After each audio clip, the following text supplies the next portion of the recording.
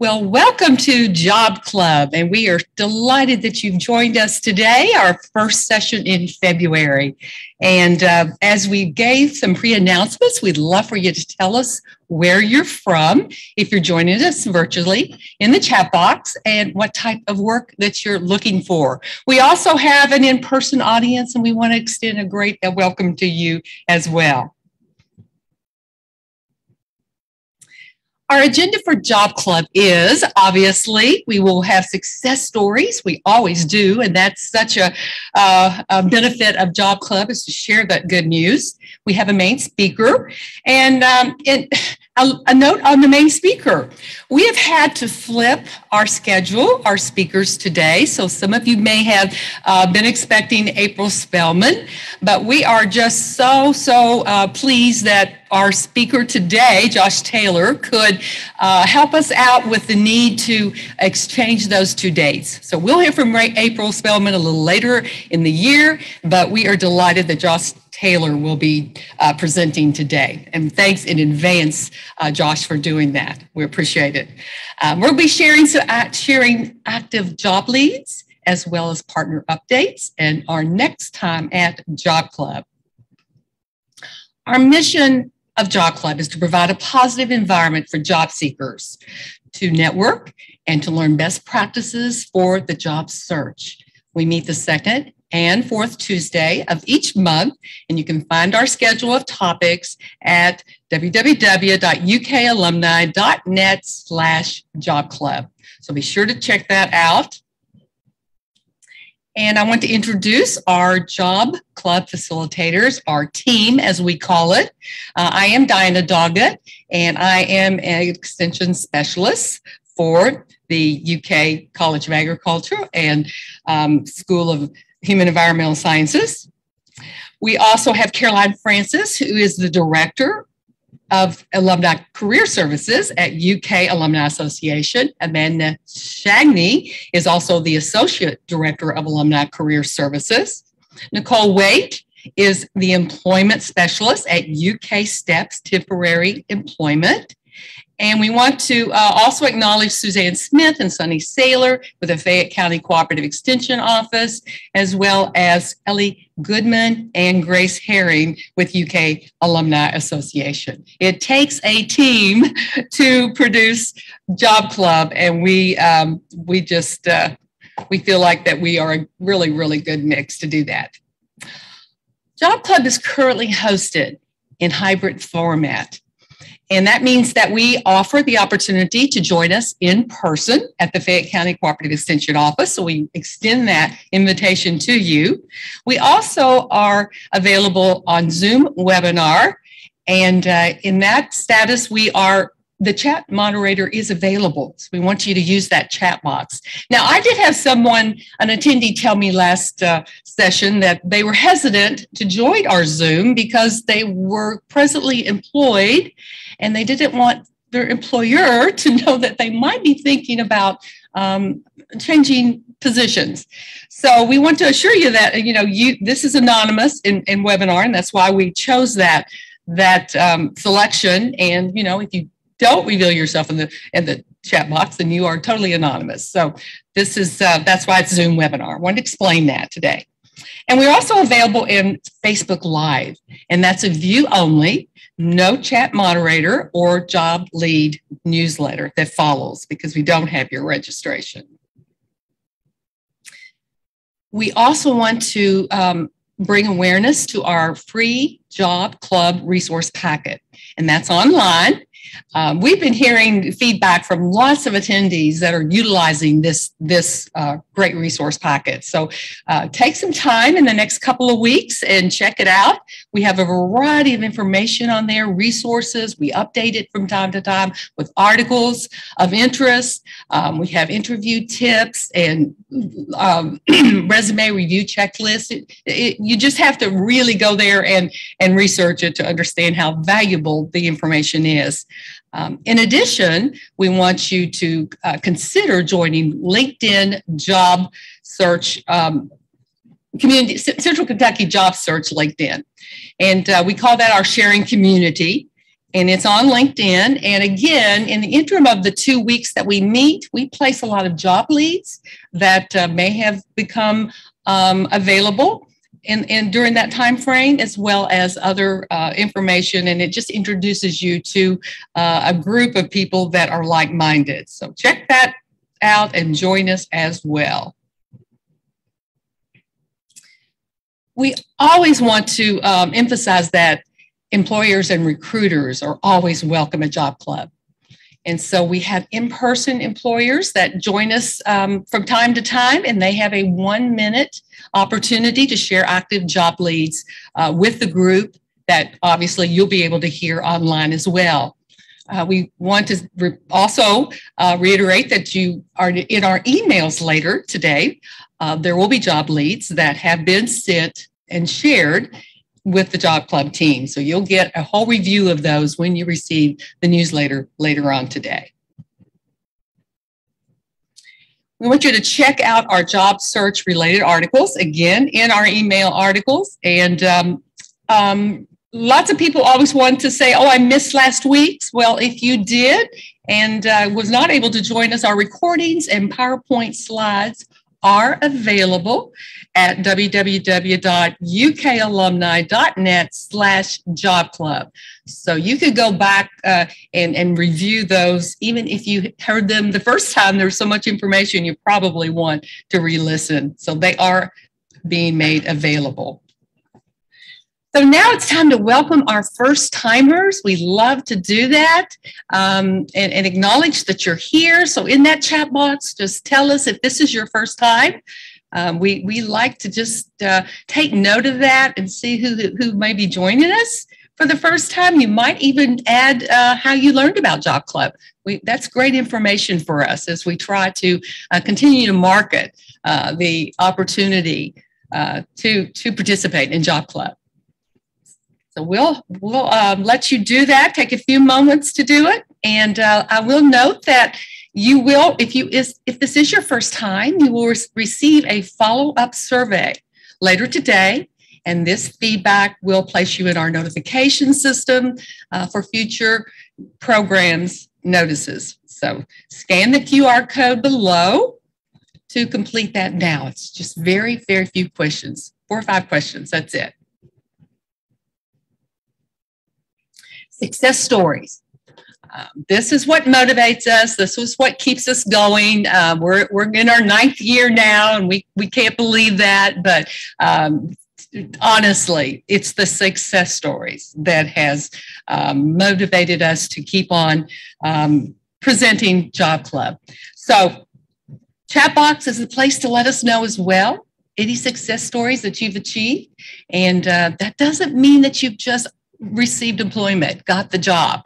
It also means that you might have revised your resume. You've reached out to someone and have a new network. Um, you might have joined LinkedIn. You might, have had, you might have had an interview or you have an upcoming interview. So let us know any of those success stories because they all lead to the ultimate success. We have any from our audience today to share? Doesn't look like we do. How about our chat box? Okay, well, um, I know I know they're out there, and typically they they drift in throughout our program. So, um, in in other terms too, remember this is motivating to other job club attendees because sometimes they need to hear from other people, and then they realize that um, um, there are market successes along the way. And we do have some. Grace? Um, so June in the chat had an informational interview which confirmed their plan to take a certification course. Very exciting. Awesome. Great. Well, I have one to share. Um, this always, again, thrills us when we get this. And we always encourage you when you get a job, we'd love to hear from you. We'd love to share it with our audience. Um, and, and we do that with the, your permission. So this is um, from Jackie Shukla. And she says, I am starting a new position as a nurse at the Ridge Behavioral Health System in Lexington. Here are her words of advice, very short and concise, but how meaningful. Hang in there. Keep a positive mindset and keep working toward your goal. When it is time, the right job will come into your life. We hear that over and over. You know, perseverance is, is, is something that's equated to job club. We know that. But um, by using the right best practices, and, and, and resources and coming to Job Club, we feel very committed that you're going to get that job that is best suited for you. So, congratulations to Jackie. We're just thrilled for her today. Well, now it's time to, for me to introduce our speaker. Um, again, we're just so appreciative that Josh could uh, change his schedule and uh, and help us today as we had to uh, to, to, flip our our uh, our programs. And uh, Josh Taylor brings over 15 years of experience as a higher education and communications and marketing professional. As an assistant director of the Graham Office of Career Management, he is committed to preparing Gatton students to achieve employment success as knowledgeable, world ready leaders. Josh began his career as a French interpreter and has held globally focused communications and marketing roles with Disney, Hands On Atlanta, and Rotary International in Quebec, Canada. He holds a bachelor's degree in speech communication and French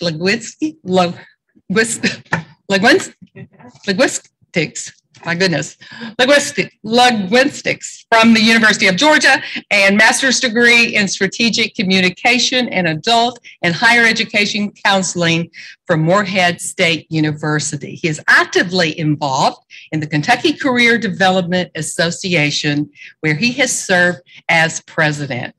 Josh, I'm going to go back and practice that word again, okay? And learn, learn my languages, but welcome, and we are so happy to have you. Thanks.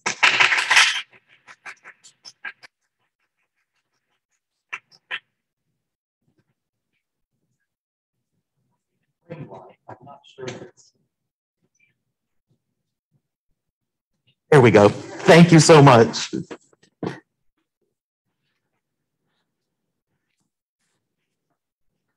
Morning, everyone. Diana, thank you for that kind introduction. And, and Caroline, Amanda, uh, Nicole, all my friends uh, here at Job Club, thank you so much for the, the warm welcome and the invitation to be here.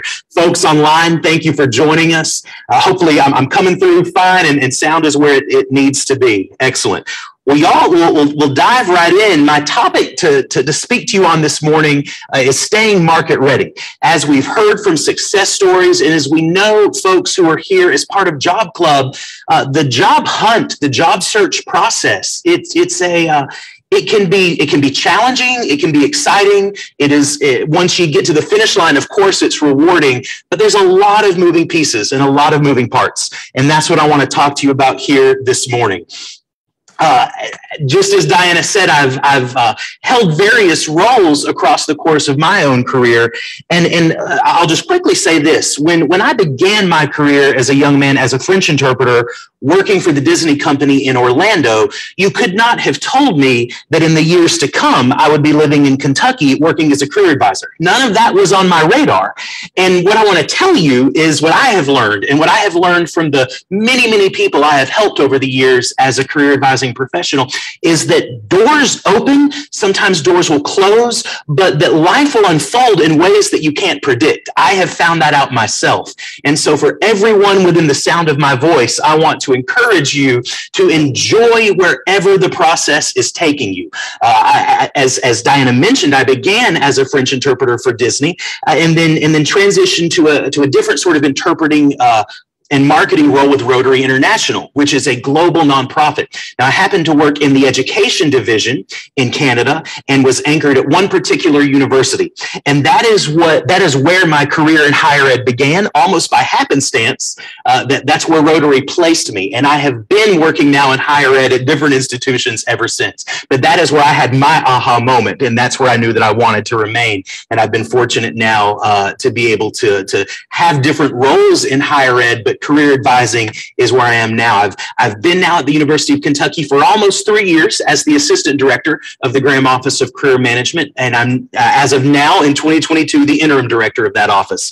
Now, ours is a career center that works exclusively with business students at UK, and, uh, and I want to share with you just a little bit about uh, our philosophy at Graham, my philosophy on how to be successful while on the job search. And I want to start off this conversation by drawing your attention to something that I saw recently trending on LinkedIn. This particular visual was shared by IBM, and it speaks to a sense of what defines success when it comes to a career. And I think the visual does a pretty good job of showing us what many of us have traditionally been taught as a way to measure success. We see salary and job title. And the question from IBM was, are these the best measures of success or the only measures of success?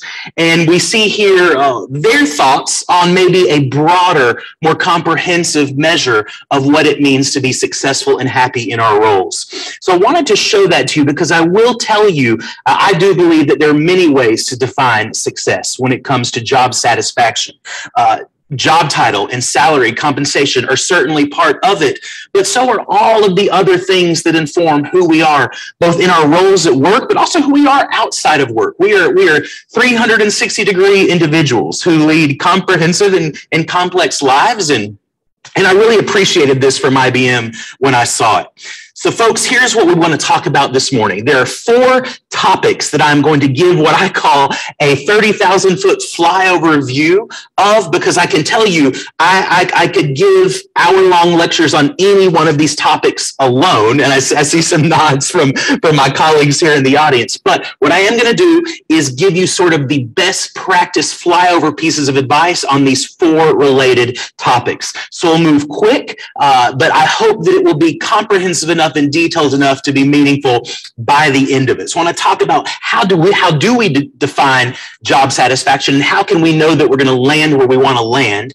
How do we protect our, our brand, our personal and professional brand, and, and promote it as we're on the market? And how do we think about the way we're reflecting ourselves on paper through things like the resume? And then last but not least, of course, how do we get ready for the interview? Now, at the Graham Office of Career Management, we have uh, a guiding philosophy, if you will, that defines how we approach career management and career development. And what we've tried to do with this language is take something that can be a bit broad and, and sometimes even seemingly complicated and really distill it down to the basics. And it's this we believe that successful career development and career management means that you're going to learn who you are, plan where you'll go, and get where you're going. Now, what do I mean by the learn who you are piece? This is helping individuals and job seekers understand who they are in a professional sense, what guides uh, their, their motivators, their interests, their personal style, their skills, their strengths, those sorts of things. And when you understand who you are in those respects, it gives you a powerful framework with which to understand where to go professionally speaking, which leads me to my second point. Uh, you know, at the School of Business, we have five different majors. And, and I'm sure within the sound of my voice, there are a number of educational backgrounds represented here this morning. Now, any one particular degree or discipline, not everyone, for example, who gets a management degree goes in the exact same direction, any more than everyone who gets a degree in history is going to go in the exact same direction. And so there are options and opportunities. And when you work with career advisors, and just like my colleagues uh, behind Job Club, we are here to help you understand what are the options and opportunities that align with your education and your skills set. And then finally, get where you're going. This is what I call the professional polish. Do you understand how to network successfully, how to manage your brand, how to write a compelling resume, get ready for an interview, all of those pieces. So that's learn who you are, plan where you'll go, and get where you're going. And we believe at the Graham office that those are the steps that it takes to be prepared and to be ready.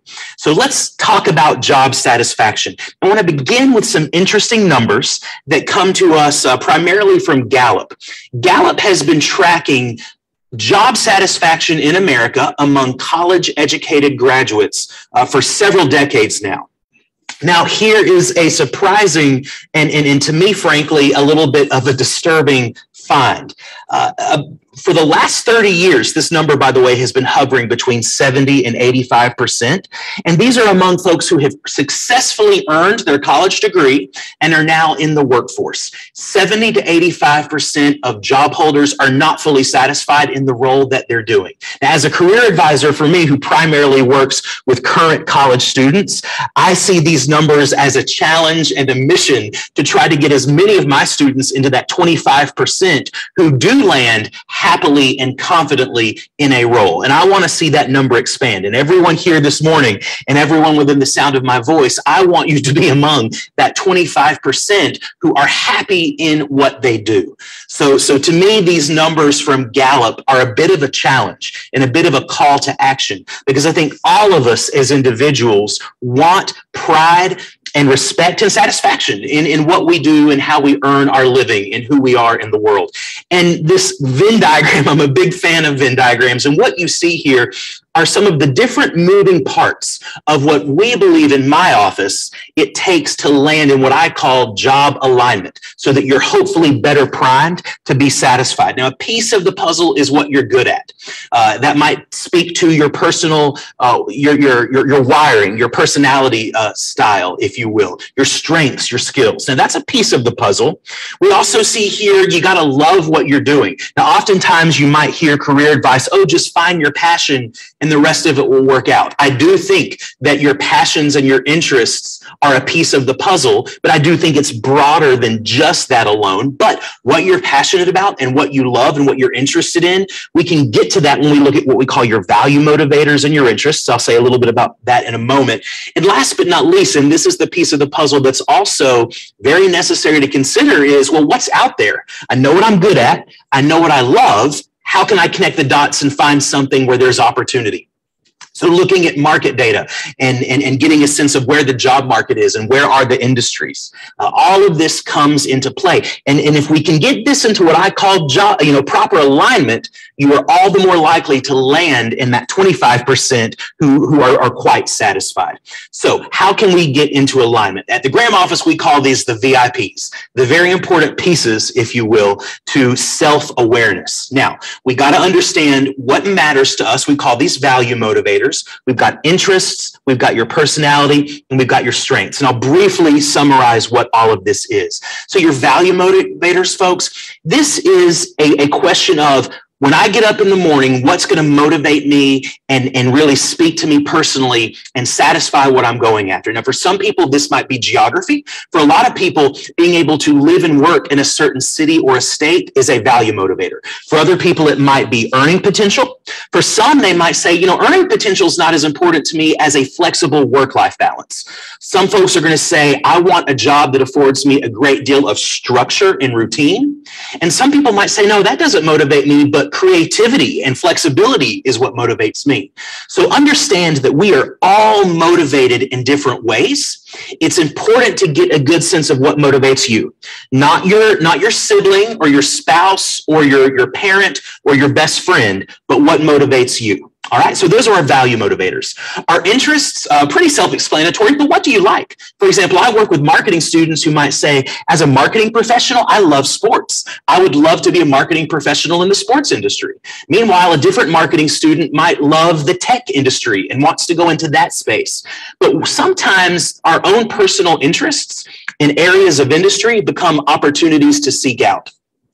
Our personality is our wire you know, how, what makes us tick, if you will. And last but not least, our strengths and our skills, our talents. When you put all of this together, it really gives you a comprehensive sense of your self awareness. So here on the screen now, I'm showing you briefly some of the common value motivators. For example, you might value creativity, you might value geography, you might value earning potential, but it's important to get a strong sense of, and what you see here, by the way, is not a comprehensive list, but it's some of the most common value motivators. And I challenge my students that I work with at Graham to maybe, you know, think of the top three or five value motivators that really are going to be important. All right. So that's my challenge is think about what are your top value motivators when it comes to your professional sense of self. And and and you could even then zoom in more carefully and think about well, what will a given employer allow me uh, to, to achieve?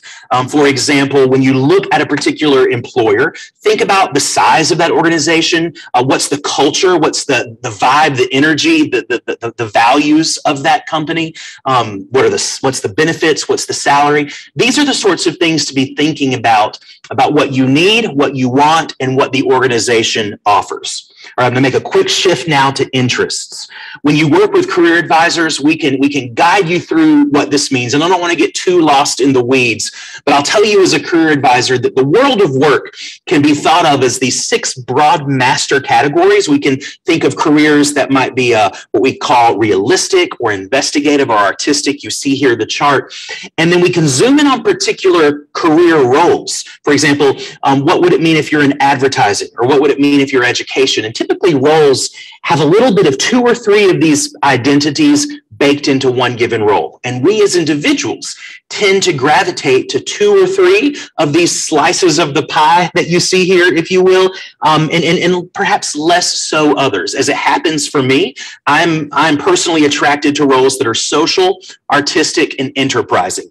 I'm less interested individually as Josh Taylor in roles that are more conventional, realistic, or investigative. S, A, and E that you see here are where my interests lie. But career advisors, we have tools that we can use with you to get a good sense of well, where are my career interests? For example, for me, as someone who has high social interests, I like careers that allow me to help people.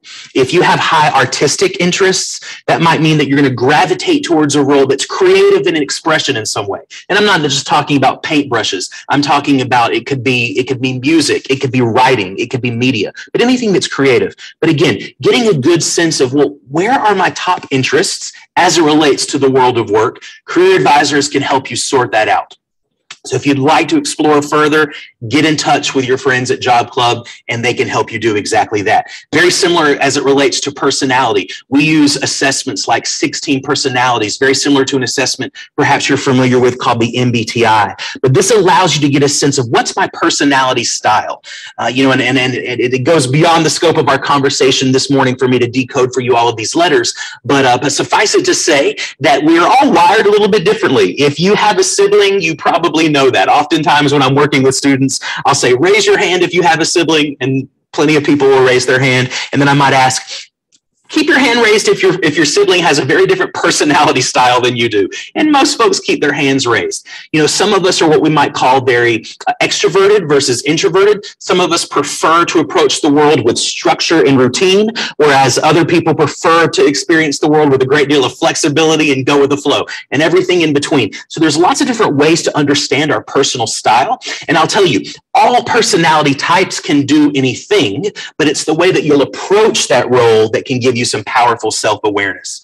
Last but not least, uh, strengths. Think of these as your talents. Uh, we at the University of Kentucky often use a tool called Gallup Clifton Strengths to help people understand of all the many talents that are out there, which ones are yours. And what I love about the Gallup Clifton Strengths approach is that it's a, it's a bit of a departure from the traditional developmental model, wherein we try to understand our weaknesses and then improve them. Now, we'll tell you there's value in understanding uh, where we have room for improvement. But a strengths based model is going to focus on where are you naturally strong? Where are your talents already? And if we invest in that, where can that take us? And this is just a quick shot. There are 34 different themes that become gateways to talent. And the Gallup Clifton Strengths Assessment helps you identify your top five. And then a career advisor can really help you understand all right, taking these top five strengths as a jumping off point, where does that create areas of opportunity and potential for me? So, those are some of the ways that a career advisor can help you get in touch with, again, what I call your VIPs your value motivators, your interests, your personality, and your strengths. So that is a piece of the puzzle. If that is where you need more assistance, or if that's the piece of your job search that you'd love to hone in on more, let the folks at Job Club know, and that could be an area of focus for you. All right, we're going to shift gears now to talk about personal and professional brand management. Your brand is your your when people think of you, your reputation, your your vibe, your energy. When they think you, what do they think of professionally speaking? And you see now some faces that probably need no introduction on this slide. I think we all understand that these very successful folks that you see right here, well, of course, they've got a brand, both as personal individuals, but they're also representing their own organizations and companies. But just like these folks, you've got a brand too. Regardless of who you are or where you are and what you're doing, we all have individual personal and professional brands. And our definition at the Graham office of what it means to have a personal and professional brand is this it's the intersection of how you see yourself, but also how other people see you.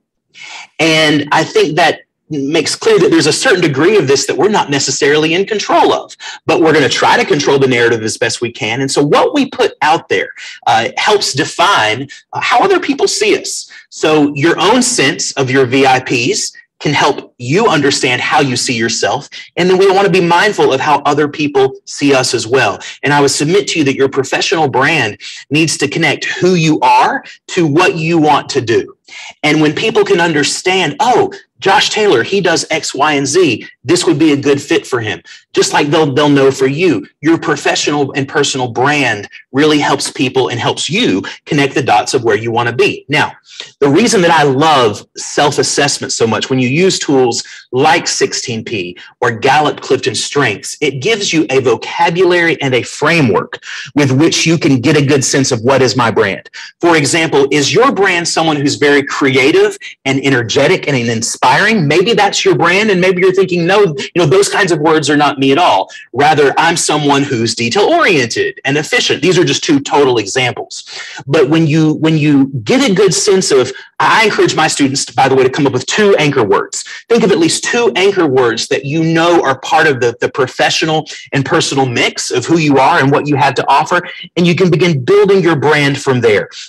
But these assessments that I've just described really do again give you a vocabulary and a framework from which to build. So start with your VIPs, think about the experiences and the jobs that you've held in the past, think about how other people see you, and this will help you get a good sense of, all right, this is what my brand is, and this is what I want to project and communicate to people around me.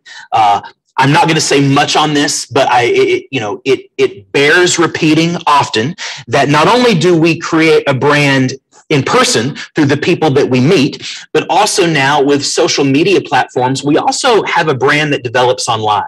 And you've probably heard everyone here in the room and in the sound of my voice, you've heard people caution you before to be very careful about how you project yourself online. I want to remind you of that, but I also want to tell you that social media and the way that you present yourself online can also be a powerful tool in your toolkit to really signal in all the right kinds of ways who you are and what you have to offer. And managers, hiring managers tell us, we work with hiring managers at the Graham office every day. And they once once candidates are identified, most hiring managers do go looking for folks on Facebook, on uh, LinkedIn for sure. Uh, but people will try to get a sense of, hey, is there who is this person online? And how does he or she project and communicate? And so be go into go into how you present yourself online through your social media accounts. Go into that with your eyes wide open not just from a place of caution but also from a place of opportunity. And i want to, to really show you that there's both sides of that coin. I mentioned linkedin.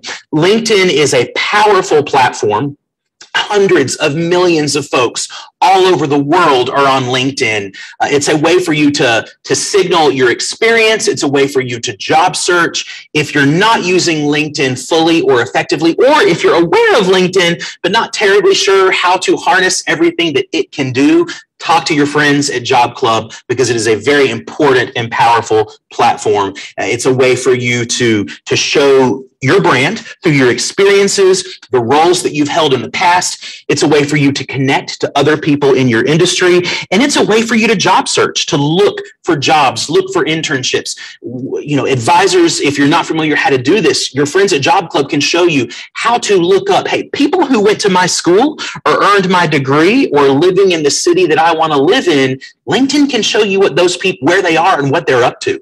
And so there's just so much that can be done on LinkedIn. So maybe LinkedIn is, is the piece of the puzzle that you'd like to, to, to grow in and learn more about. All right, we're, we're hustling here, folks. I now want to talk a little bit about resumes. Your resume, the way I say it to students, is that your resume is your ticket to the interview. Now, your resume alone cannot get you a job. That's not what it's designed to do. Your resume hopefully will give you an audience with a hiring team. If they like what they see on paper, they're going to want to hear more from you. So it is it is your ticket to move forward in the process to get ever closer to the interview. But I want to ask you a question, and when I ask this stu- uh, this question to students, I get a range of answers, and the range of answers is completely understandable. And I want to ask folks either here in the room or online, but do you have a sense of how long a hiring manager is likely to spend looking at your resume the first time that she sees it?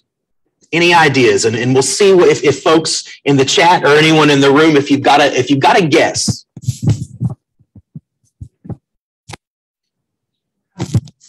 Two minutes. Two minutes. I hear two minutes. That might be long. Got some answers in the chat. All right. Uh, we have three seconds, thirty seconds, one minute, seven seconds, Yes. So th- and thank you for that. An absolute range. And every answer that I've heard makes perfect sense. And so there's a the answer is I'm gonna and I'm gonna show it to you now. Most hiring managers tell us that it's only about six seconds. Now, if you were if you were feeling a bit surprised and perhaps even frustrated by that response, you are in good company. And, and it is understandable, uh, it would be an understandable response to be frustrated by that answer because our resume is our summary of all the amazing things that we have to offer and all the things that we've done, the investments we've made in our skill development and our education. And you might be thinking, how in the world does it only get a six second glance? Well, there's a catch. And, and here's what I want to tell you because yes, it's six seconds, but it might also be several minutes. So here's how this works. The very first time that your resume is seen by the hiring manager, this is one of my favorite slides. People are giggling here in, the room, and it is admittedly a, a, goofy image, hopefully, to get this impression in your mind. Uh, but yes, the hiring manager when he or she sees your resume for the first time, will give it a glance. And in that six second glance, the hiring manager is looking to see does the person on paper seem to match what I'm looking for? Is it the right kinds of jobs that have been held in the past? Do I see the right kinds of skills and experience, perhaps the right education? But in six seconds, they're also looking at the format. Do I like the way it looks visually? Is it well organized? It could be written in a language I don't speak, and I'd still know if I like what I'm seeing. But six seconds, and if they like what they see in six seconds, they put it into the yes pile. Now, if for whatever reason, if the format is messy, if it just doesn't look like a good fit, if there are typos, if the wrong kinds of experiences have been highlighted, they'll put it in the no pile. Now, once your resume is in the yes pile, understand that the hiring manager then goes back and along with the hiring team will carefully read the resume for several minutes if necessary. So it does get a comprehensive read, but you've got that very brief window of time to get in the yes pile. So hopefully that demystifies how it's both a glance, but it's also going to get the read that it deserves but you've got to get into that window. And so format and content are important. And again, we often give 45 minute workshops just on how to get this piece of it right. But very briefly, I want to tell you when it comes to the format, when it comes to the way your resume looks visually, I want to caution everyone within the sound of my voice to be very careful about templates. Templates are, in effect, a downloadable document that allows you to really kind of get the format taken care of through the through the document itself. Uh, oftentimes, templates look very uh, visually flashy. They might have a nice pop of color, built-in style. That's all great, but here's the concern. Most organizations use what are called applicant tracking systems. We and employers call them ATSs. That's an effective way of saying that a computer is going to scan your resume before a human being does. Most applicant tracking systems have a very hard time with templates. Some can't even read them. And I would never want a candidate to be screened out of the hiring funnel simply because of the format of their resume. So what I'm going to encourage you to do is to build your resume from scratch in a Word document that looks a little bit more like now what you see here It will survive the applicant tracking system 100% of the time. And it's what most hiring managers tell us that they want to see. And in this case, simple equals better. Now, if any of you are in creative industries and you've actually hand designed a, a, a resume, maybe using uh, software tools like Canva, and you really want to show the creative design skills that you have through your resume itself, that's great. And there can be value there. I would encourage you to use that kind of a resume when you're handing it directly to a human being. So if you're at a career fair or a job fair, or if you're able to email it as an attachment, human to human, you're in great shape. But if ever you're in a click here to apply scenario, I would want you to have an alternative version of your resume that's going to be more appropriate for an ATS. Does that make sense? I see some thumbs up. So, so I'm not telling you never to use a template. I want you to be aware of the scenarios when you want to particularly have an alternative. So that is a very quick thing on format. Now, when it comes to content, I want to tell you the way that you write your bullet points matter. And we actually have a recruiter at the Graham office. She's with Goldman Sachs. She calls this her so what test. And she, this is a quote from her. She told me I could use this forevermore and always give her credit. But she calls this her so what test. She says, every bullet point I see needs to pass the so what test. And here is a very quick, I mean, she's, she's pretty blunt about it.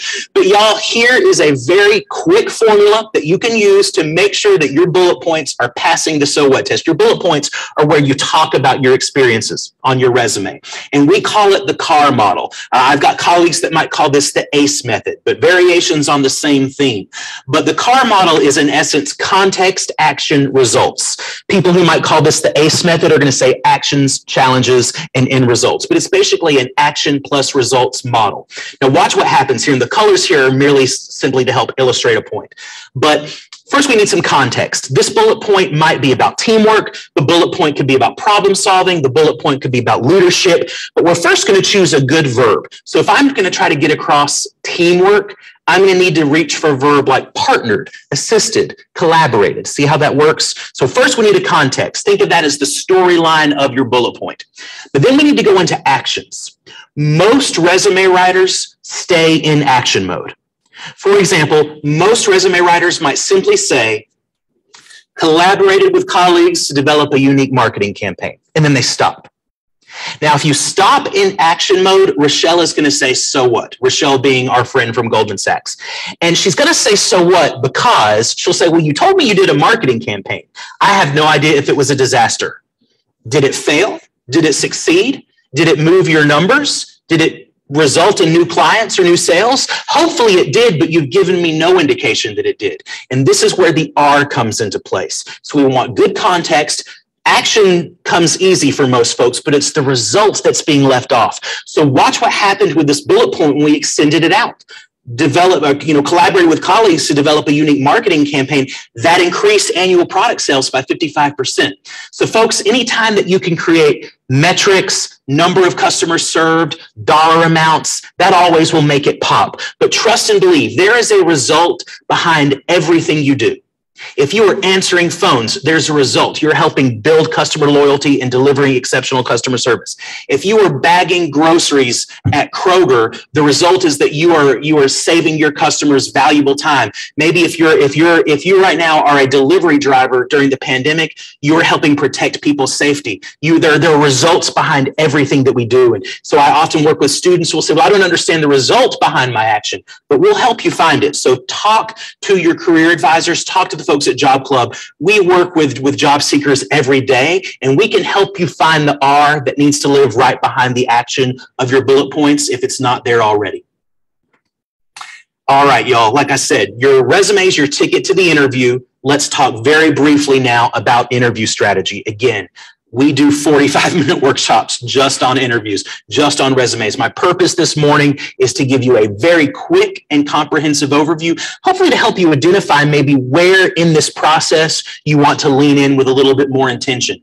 But when you head into an interview, first, my first piece of advice is you need to know yourself. Know your story, know your goals, know who you've been and where you want to go. So be, be fluent in your own VIPs, be fluent in the goals that you want to achieve, and be ready to talk about your strengths and your skills with action, with results in all the right ways. And I'll say a little bit more this more about this as we go. But this is the piece I don't want you to neglect. I also want you to know the employer. Now, this employer hasn't hired you yet, so you're not expected to be, you know, fluent in all things about this company, but I want you to have done enough homework and enough research to show the members of the hiring team that you understand who that company is and why you want to be a part of it.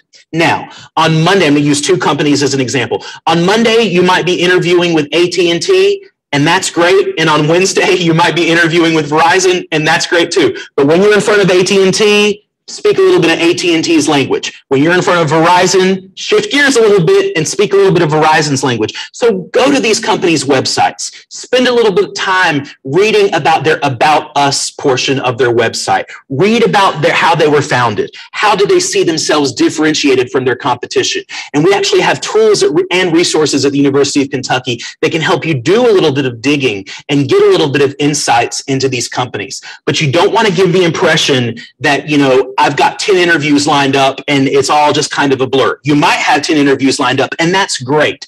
But when you're in front of that company, do your best to project, I want to be a part of your team.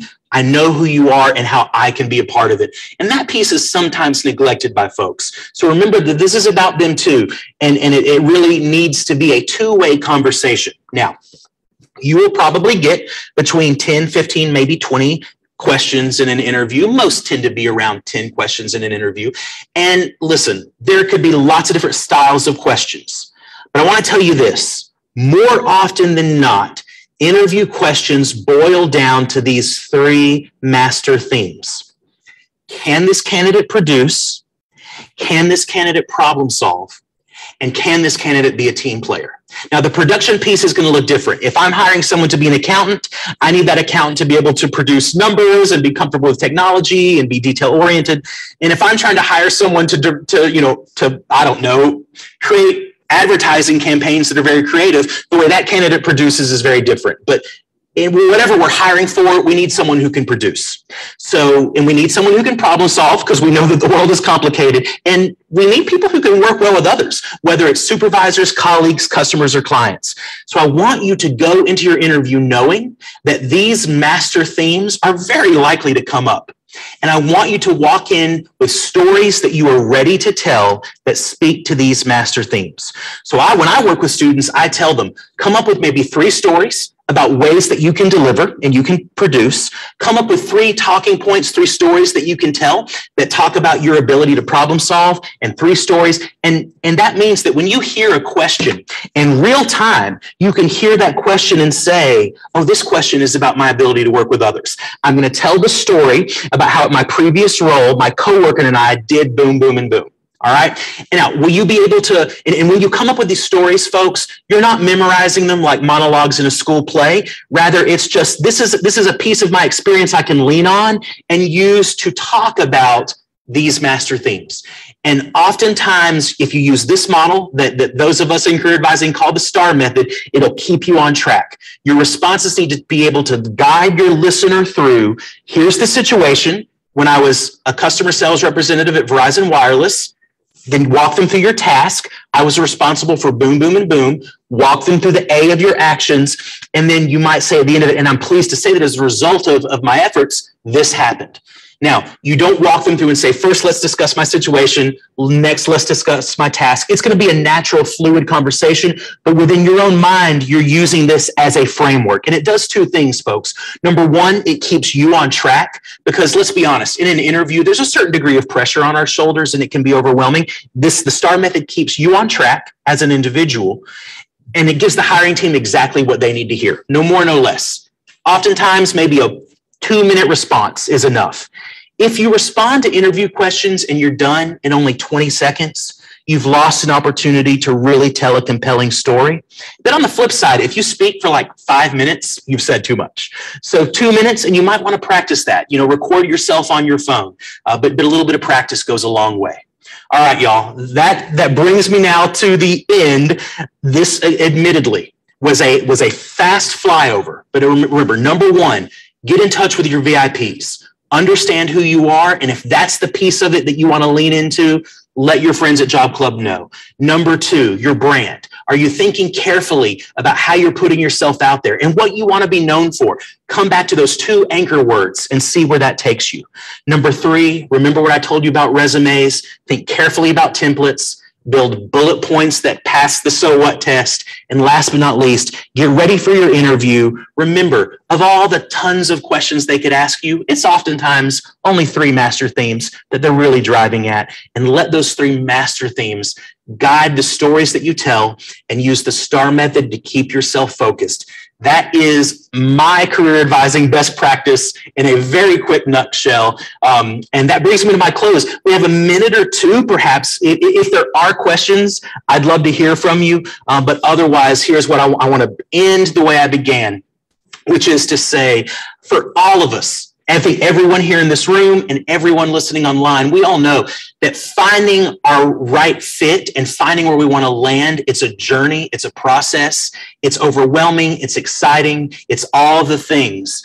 Uh, but those of you right now who are actively searching, I hope this information has been helpful to you. And thank you for carving out a few minutes of your day this morning to spend with me and to spend with us. We have a minute or so for questions. If you have a question, Absolutely. please put it in the chat box now. Also, sharing feedback, love that chat box with some awesome All right. feedback for Josh. I always learn so much, and we really appreciate you presenting today, Josh. Great, great content. Well, it's it's my pleasure, and thank you for the invitation.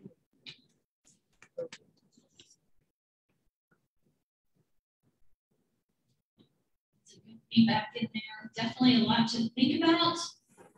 Good crash course. well, thank you. Yes, I, I had to say when, when I developed this presentation, a, an earlier version of this talk was given to um, to some some an audience on campus, and I went into it worried that I was trying to, you know, I want to hit a lot of content, but yes, it's a crash course, and and my hope is that it will help you decide where your efforts where you might want to spend a little bit of time in with that. I feel, I feel great about my brand, but let's level up on my resume. Or I didn't know that that was an approach I could take to resumes uh, or to interviews. Or you might be thinking, whoa, I don't know what, I haven't thought about my brand. So these are all pieces of the puzzle. And, and, and folks like me, folks like Caroline and Amanda uh, are here to help.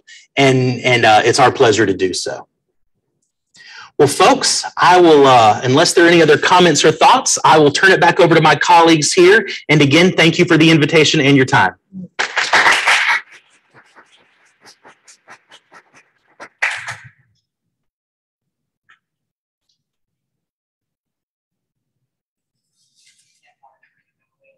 Thank you so much.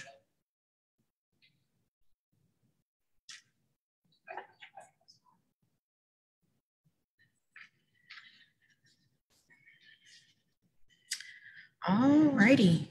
So let's see here. All right. So thank you again, Josh. This was very, very good, very good information. And uh, we thank you again uh, for speaking here today at Job Club. Oh, sorry. Let's go. All righty. And of course, um, I didn't, I don't know, I think I asked, did the audience, did you have any questions? Anyone in the audience have any questions? Okay. Okay. So um, anybody hiring? Okay i'm not sure. If we have anyone in the chat that would like to share any information about job leads uh, feel free to list those in the chat box. And um, if not i know we have i believe it's gerald from state farm that will come up and uh, did you did you want to come up and speak or you okay? Okay. You want to come up? Okay.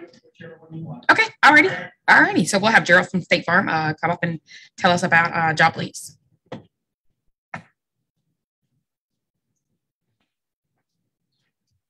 Well, good morning. Uh, where, where's the camera coming from?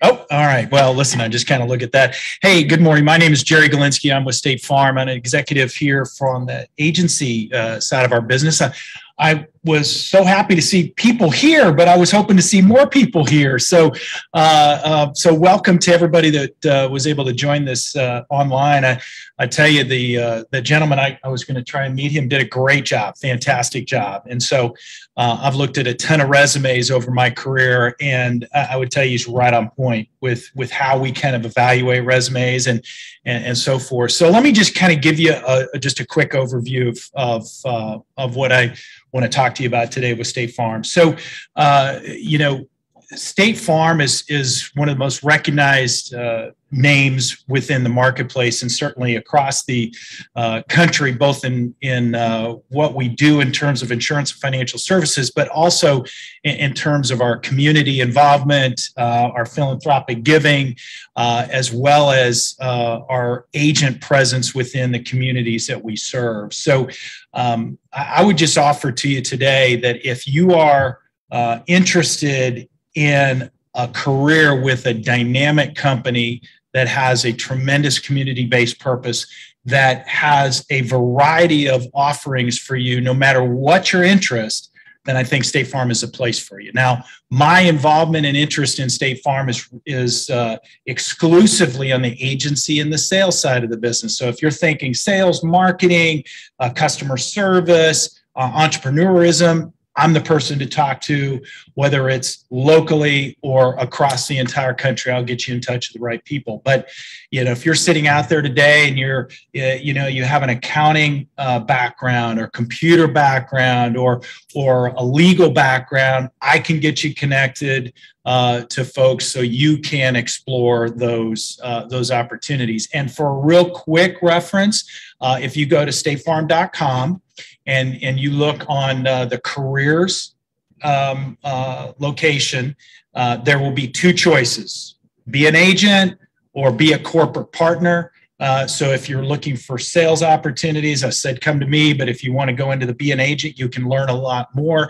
If you're looking at uh, all the other jobs, marketing, actuary, computers, whatever it might be, go to be a computer partner, pick your category, and you will see the openings uh, that are available all across the country. So, um, uh, but listen, um, I will leave my information with the folks here, but you can find me to that gentleman's way.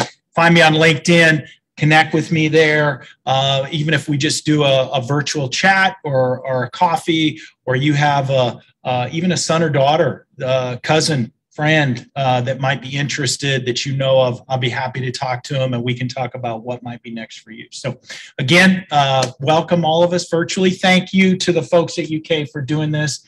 Uh, such a great service that you provide the uh, community and, and the UK partnership. So, thank you.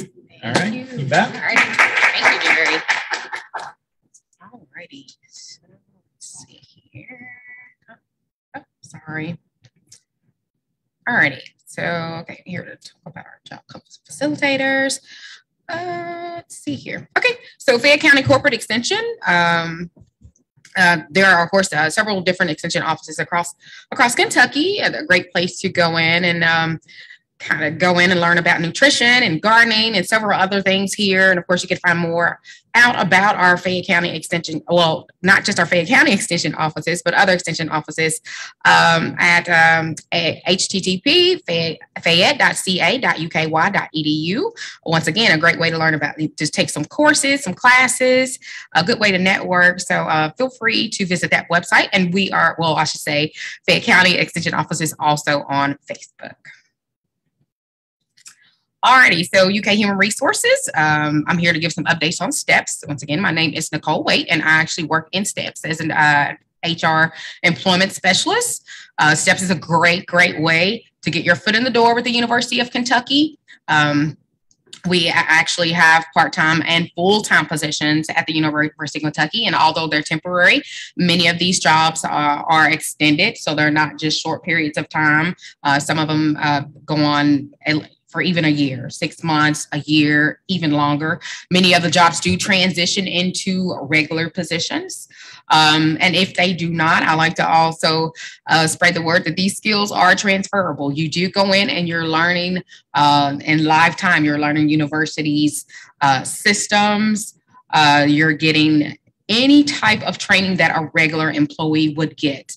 Um, that you know, of course, that benefits the department as well as the employee. So please take advantage and visit our website there.